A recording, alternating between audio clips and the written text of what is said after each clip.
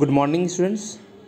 Today we will start first chapter of English grammar, common and proper nouns.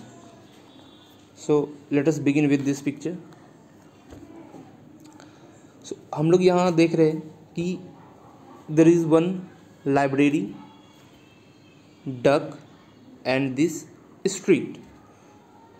तो library क्या है एक common noun है but चूँकि इस लाइब्रेरी का यहाँ पे नाम दिया हुआ हम लोग को तो ये टाउनसेंड लाइब्रेरी ये जो नाम है, ये क्या हो जाएगा? प्रॉपर नाउन हो जाएगा। लाइब्रेरी बस, ये word library word common noun है बट यदि उस लाइब्रेरी का हम लोग को नाम पता चल जाता है कि वो लाइब्रेरी टाउनसेंड लाइब्रेरी है या कुछ और नाम है तो वो नाम क्या हो जाएगा? उसका प्रॉपर नाउन हो जाएगा। फिर हम लोग देख रहे हैं कि यहाँ पे एक डक है। डक कॉमन नाउन है। कोई भी डक हो सकता है। बट चूँकि यहाँ पे हम लोग को डक का नाम पता है, डॉनी तो ये डॉनी नाम क्या है? ये प्रॉपर नाउन है। फिर स्ट्रीट स्ट्रीट वर्ड क्या है? ये कॉमन नाउन है। बट चूँकि हम लोग को पता है कि इस स्ट्रीट का नाम क्या है, एडल स्ट्रीट है तो ये एडल स्ट्रीट नाम जो है, ये क्या हो जाएगा? वो प्रॉपर नाउन हो जाएगा। उसी चीज़ को हम लोग को यहाँ पे फिलअप करना है। Write the names of what you see here. Dash library. तो लाइब्रेरी का नाम यहाँ लिखना है, डैश स्ट्रीट। इस स्ट्रीट का नाम लिखना है एंड डैश डक और इस डक का नाम लिखना है। ओके? अब हम लोग नेक्स्ट पेज पे आते हैं।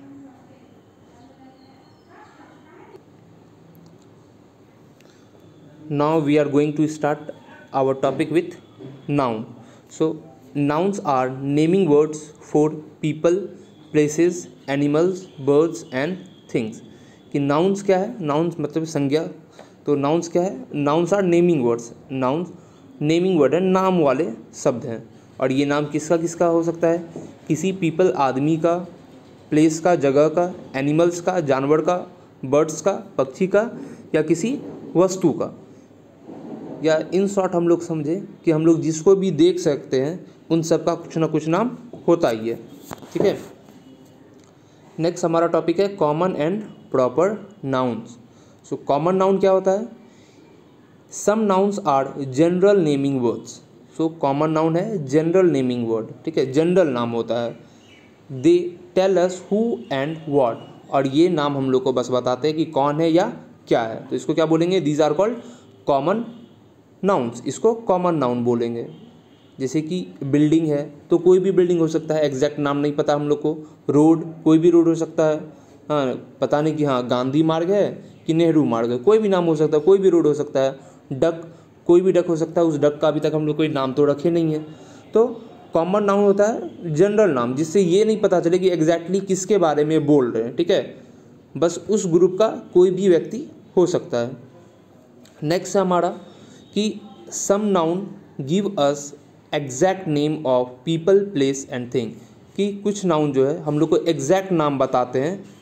पीपल का, किसी आदमी का प्लेस का, जगह का या कोई वस्तु का एग्जैक्ट नाम बताते हैं, ठीक है? तो इसको क्या बोलेंगे? These are these nouns are called proper nouns ऐसे नाउन को प्रॉपर नाउन बोलेंगे। जैसे हम लोग हम लोग पीछे वाले पेज पे देखे थे एग्ज़ाम्पल में लाइब्रेरी था, उसका नाम क्या था? टाउनसेंड लाइब्रेरी जो स्ट्रीट था, गली, उसका नाम था एडल स्ट्रीट और जो डक था उसका नाम क्या था? डॉनी। तो उस डक का एग्जैक्ट नाम है डॉनी। तो कोई भी डक नहीं हो सकता। जब हम डॉनी बोलेंगे तो बस उसी डक का नाम आएगा। उसी तरह जब हम लोग आदिल स्ट्रीट बोलेंगे तो फिर बस उसी स्ट्रीट का नाम होगा, ठीक है? और जब टाउनसेंड लाइब्रेरी बोलेंगे तो दुनिया का और कोई लाइब्रेरी नहीं हो सकता। बस कौन सा लाइब्रेरी होगा? टाउनसेंड लाइब्रेरी इसको हम लोग यहाँ के एग्ज़ाम्पल से यदि और अच्छे से समझे कि कॉमन नाउन में आता है बॉय बॉय मतलब लड़का. तो कोई भी लड़का हो सकता है. हमको नहीं पता चलेगा कि हम किस बॉय के बारे में बात करें बट यदि हम लोग बोल दें कार्तिक तो हम समझ जाएँगे कि बस किसके बारे में बात हो रही है? कि कार्तिक के बारे में बात हो रहा है. उसी तरह गर्ल है तो कोई भी गर्ल हो सकती है. ठीक है? अब वो सीमा है, रेखा है, मिनी है, कोई भी गर्ल हो सकती है. नहीं पता.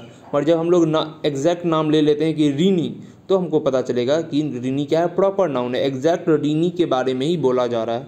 फिर सिटी है तो कोई भी सिटी हो सकता है, ठीक है? इंडिया का भी सिटी हो सकता है या किसी दूसरे देश का भी हो सकता है, कोई भी सिटी हो सकता है। बट यदि हम लोग नाम लेके बोल दे जयपुर तो हम लोग समझ जाएँगे कि अच्छा कि किसके बारे में बात हो रही है तो बस जयपुर के बारे में बात हो रही है, ठीक है? और किसी सिटी के बारे में तब हम लोग नहीं सोचेंगे। उसी तरह से यदि डे बोलते हैं तो कोई भी डे हो सकता है, ठीक है? तो डे क्या है? कॉमन नाउन है। अब पता नहीं हम लोग को कि संडे है मंडे है कि ट्यूजडे है। बट यदि हम लोग बोल दें कि प्रॉपर नाउन हमारा मंडे तो मंडे एग्जैक्ट डे ठीक है? और कोई दिन नहीं हो सकता। यदि बोलेंगे किसी को कि तुम मंडे को आना हमसे मिलने तो वो और ट्यूसडे या थर्सडे को नहीं आएगा हमारे पास। कब आएगा? मंडे को आएगा। क्यों? क्योंकि उसको हम मंडे बोले मंडे प्रॉपर नाउन है एग्जैक्ट नाम है, ठीक है? किसी भी दिन का नाम मंडे नहीं हो सकता। तो इस टाइप से हम लोग इस चैप्टर को सॉल्व करेंगे। और एक चीज़ है कि प्रॉपर नाउन जो वो हमेशा कैपिटल लेटर से स्टार्ट होता है। किससे स्टार्ट होता है? प्रॉपर नाउन कैपिटल लेटर से। तो नाम का, प्रॉपर नाउन का फ़र्स्ट लेटर हमेशा कैपिटल होता है। जैसे कार्तिक का देख रहे हैं, के कैपिटल है, रीनी का आर कैपिटल है, जयपुर का जे कैपिटल है, या मंडे का एम कैपिटल है, क्योंकि ये सारे प्रॉपर नाउन्स है। बट हम लोग कॉमन नाउन में ऐसा नहीं देखते हैं। कॉमन नाउन का फ़र्स्ट लेटर देखिए, बॉय का बी स्मॉल है, गर्ल का जी स्मॉल है, सिटी का सी स्मॉल है, डे का डी स्मॉल है तो कॉमन नाउन में फ़र्स्ट लेटर कैपिटल नहीं होता।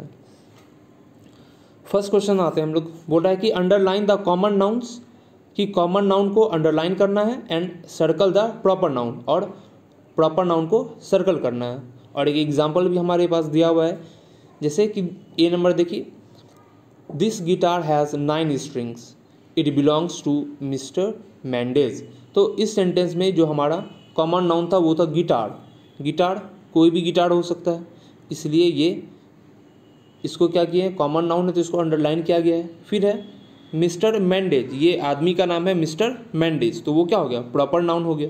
इसलिए उसको क्या कर दिया गया है? सर्कल कर दिया गया है। तो इस टाइप से हम लोग बाकी के सारे क्वेश्चंस को बनाएँगे। फिर नंबर टू पे आते हैं। Rewrite the following sentence. Sentences capitalising the proper nouns हर एक सेंटेंस में प्रॉपर नाउन है और उस प्रॉपर नाउन को सही से कैपिटल लेटर में नहीं लिखा गया। दैट मीन्स कि उसके फ़र्स्ट उस नाउन के फ़र्स्ट लेटर को कैपिटल नहीं किया गया है। तो हम लोग इसको इस दिए गए ब्लैंक में बनाएँगे, लिखेंगे और कैपिटल करते हुए लिखेंगे। जैसे फ़र्स्ट नंबर देखिए A have you seen the Taj Mahal it's in Agra तो हम लोग देख रहे हैं कि ताजमहल ये क्या है? प्रॉपर नाउन है। दुनिया में एक ही बिल्डिंग है ताजमहल और किसी बिल्डिंग का नाम ताजमहल नहीं हो सकता। तो ताजमहल का टी क्या होगा यहाँ पे? कैपिटल होगा और महल का एम क्या होगा? कैपिटल होगा। तो इसको करते हम, करते हुए हम लोग पूरे सेंटेंस को कि have you seen the Taj जब ताज लिखेंगे तो टी को कैपिटल कर देंगे और महल लिखेंगे तो एम को कैपिटल कर देंगे।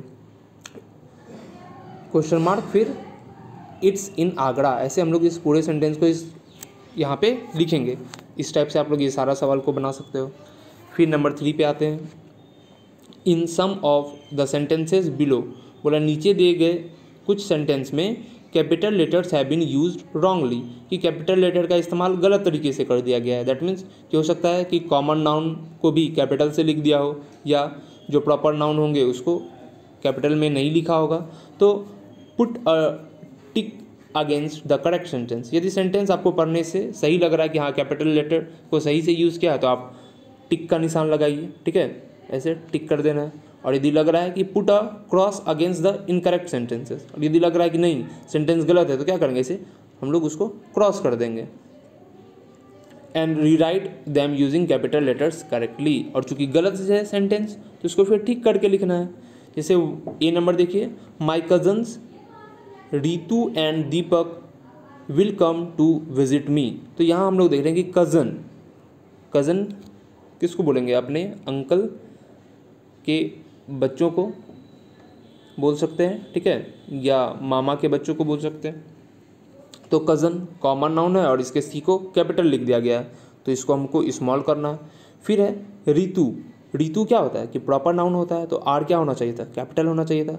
फिर है दीपक। दीपक क्या है? प्रॉपर नाउन है। तो डी क्या होना चाहिए था? कैपिटल होना चाहिए था।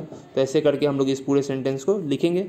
और चूँकि ये बुक में क्या है? रॉन्ग लिखा हुआ है तो यहाँ पे हमको क्या डालना चाहिए? ऐसे क्रॉस डालना चाहिए इस बॉक्स में। ठीक है? इस टाइप से करके हम लोग इस पूरे एक्सरसाइज को बनाएँगे। Thank you